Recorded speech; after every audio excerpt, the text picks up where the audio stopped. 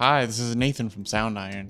Today I'm going to walk you through how to batch save a Kontakt library in Kontakt 7.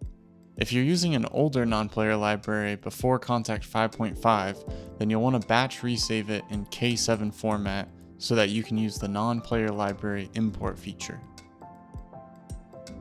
Here's an example of a library made before Kontakt 5.5.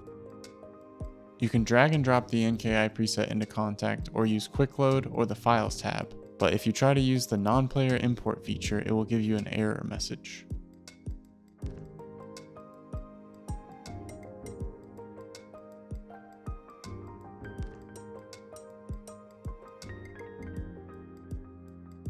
To batch resave a library, click the floppy disk icon and then click Batch Resave. Find the library folder you're trying to batch resave, and then click OK. It will check for missing samples and then resave the patches in K7 format.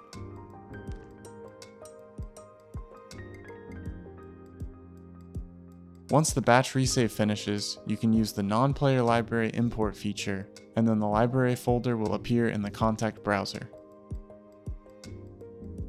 That's all for now. Please subscribe here for more videos like this, and we'll talk to you soon.